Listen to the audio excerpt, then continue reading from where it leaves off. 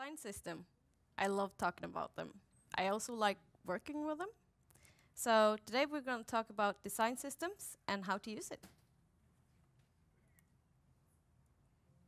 First, I'm going to present myself. My name is Kitty Toft.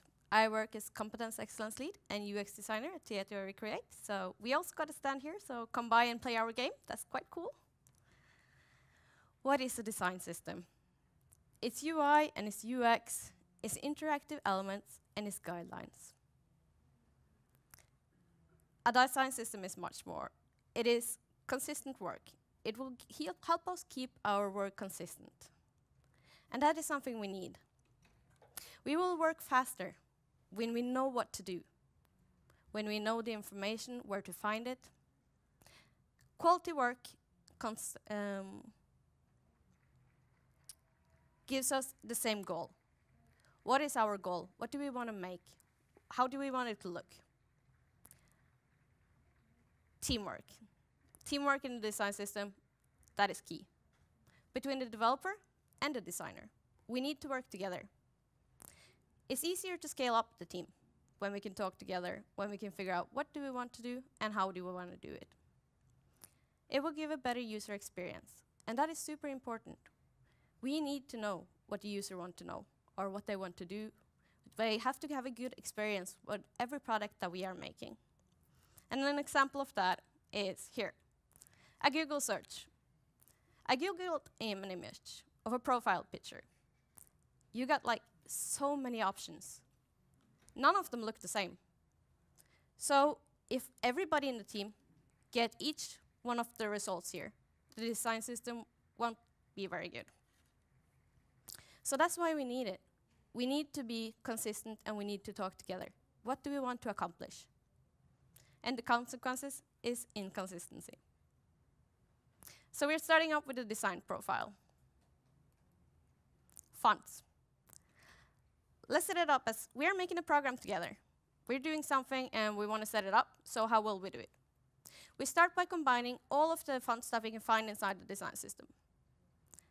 After that, we're giving them the right naming and saying, okay, where do we want to use them? Is it a button font?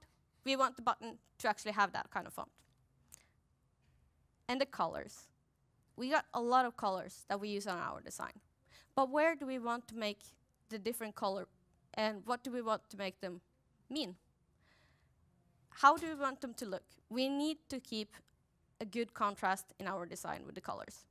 I gave an example here where you can see that the purple has white text, but the light purple has dark text. Are you familiar with WCAG? That just came around in February. And we need to have a good contrast for everybody to be able to see what we're actually making. That way, in the design system I'm setting up, I'm using AA to present that this is actually checked out. It's a good contrast. And now we know where we can use it. Also, naming is super. Add the names and it will be consistent. Now, icons. That is the roadmap for our software. That's the images. We will see the image of an ad, uh, add a user, for example, and when we add the user, what if they don't understand it? We need them to be able to understand it. So we collect all of our icon in the same place, and we can use it around our application.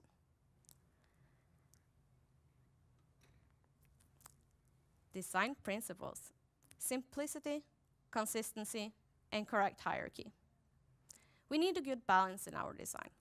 We need it to look good it can't be like tilting over. And also, the contrast between the good and, or the, the good and bad, between the light and the dark is super important. Brand identity, that is the face of our company. The image that our customers recognize us by. So by collecting them in one place, like here we got the logo and we got the illustrations, the icons, as you can see, the heart. That is something that people recognize you by. So we collect all of those things in one place. Also the logo, the images, voice of tone. We need to make sure that our customers or the people using our program will know how we talk. An example of that is Slack. How do people feel when they're actually using Slack? Ah, they feel like conversational, friendly. Apple, Apple will give you a more clear, consistent, and human feeling. That's some of them, their image. Airbnb, warm, inspiring, and community. But that is just some of the element. If we go over to the UI toolkit, that's a different one. And that's where it gets exciting. Here we got the UI components. And from everything that we already talked about, from all of the icons, from all the colors, we combine them into one. We find the icon that we want to use, and we find the font. Then we add the colors, and now we got a component. But that is just one single component. But if we now use this button everywhere inside our application, we make sure that it stays consistent. That is the one that we want to use. If they change it up, then we change it in the design system, and they will know. Everybody working in the design system will know that, hey, these components is now changed up. But we can also add multiple components into one. By adding an icon, by adding a font, a title, and a basic text, we are making a dialog box. Bit hard to see the lines between there, but the dialog box is something that we often use. So if we keep that as consistent as well, then we have the single button component into another component, and we will have multiple components mixed into one, and we will keep it consistent. So let's see. Sometimes we have to change our profile. Either we want the light and the dark mode, or is brand recoloring. That happens all the time. So what will we do? Okay, we got the button, we got the icon, and what it consists of the font and the color, and we change it inside that library, and we added up the new one.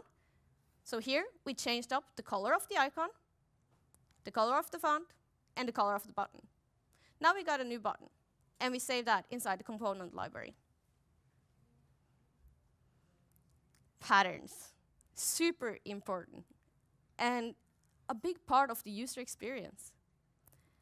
When we got the buttons, sometimes we want to tell the user, hey, we want you to press this button because that will be important. Or that's, that's what you want to do here. Okay, then they know. But maybe we'll want to give them some options. Then we give them a couple of secondary buttons. We can also give them three choices where we say, oh, but it's up to you. Do what you want. And that's good as well. And then they can click in to one of those. But by having in the design system a place where we say, this is what we want you to do, and then on the ground, bottom one, you can see that, ah, but we don't want you to say, you're doing this one, this one, and this one. That we don't want.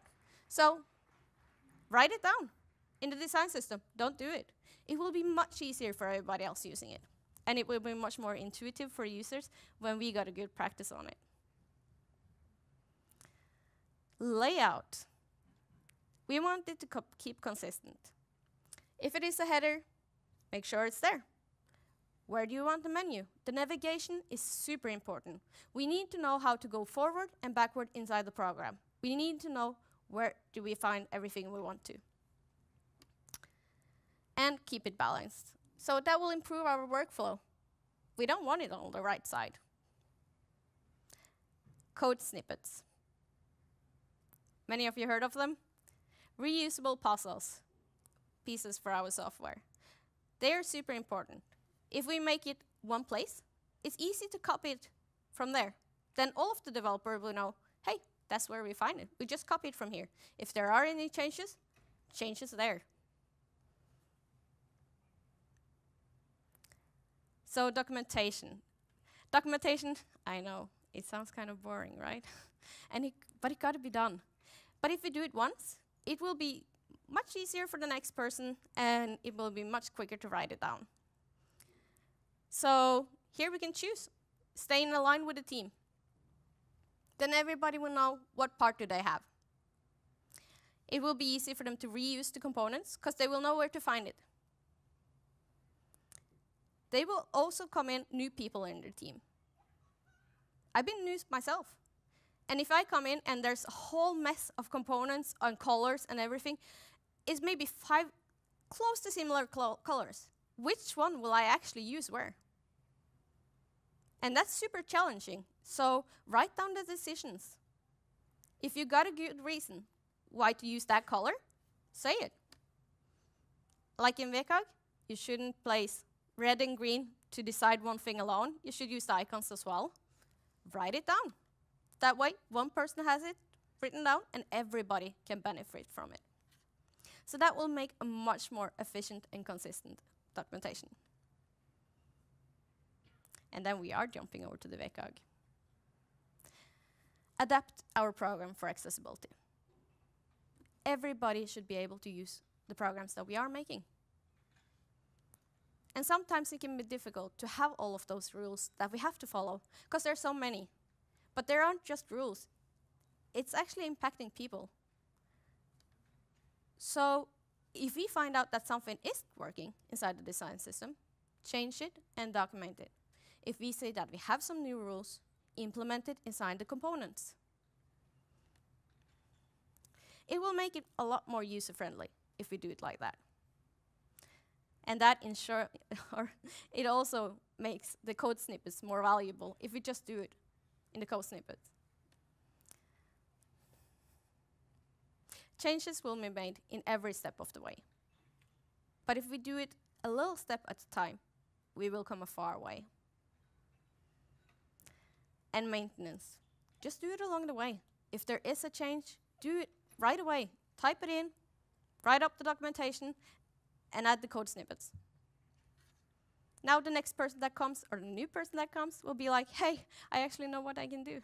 See how productive I actually can be, because I feel like I manage it.